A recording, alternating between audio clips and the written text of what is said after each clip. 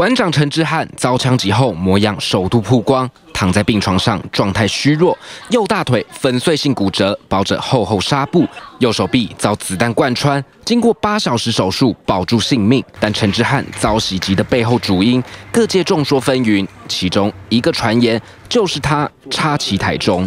我这个砸两亿，两亿，我把我身家性命都压下去。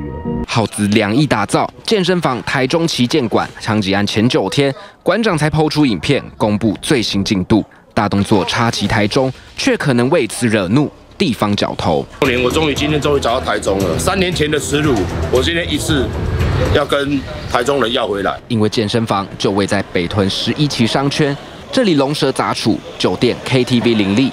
官职前身更是赫赫有名的尊龙 KTV，从黑帮手中租走黄金店面，可能也因此让馆长惹祸上身。来到馆长在台中经营的健身房，可以看到呢，目前还有工人在做最后的赶工，因为预计在九月一号将会正式开放预售。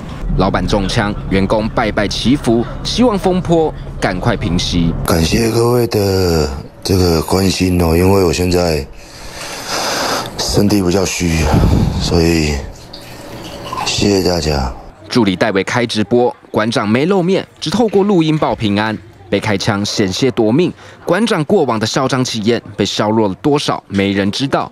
唯一知道的是，三颗子弹的背后恐怕黑影幢幢。记者龚玉德、王百英、季冠宏、陈璇综合报道。